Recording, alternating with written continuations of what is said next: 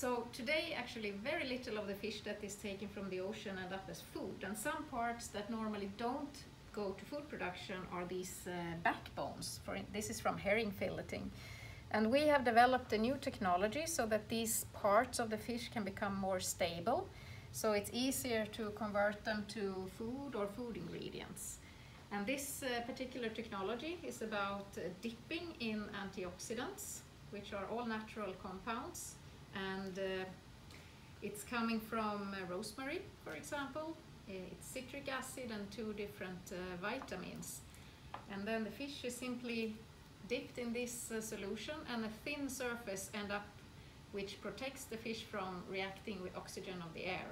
And this extends the shelf life a lot, almost up to two weeks from less than a day if you don't do this dipping technology. Yes, now we can I can show you some about this technology. This one is the rosemary extract raw material powder.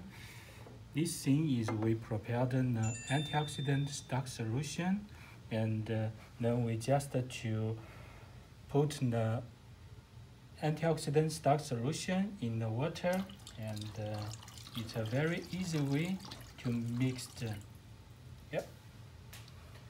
And then we just need to immerse the herring product in the antioxidant solution and then keep in maybe 10 seconds is fine very short time.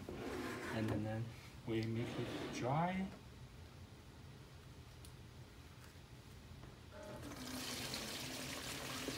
while you are drying it, we can also say that this uh, research is part of the European project WaSeaBi, where several different countries work together in order to maximize the use of the fish that is taken up from the sea.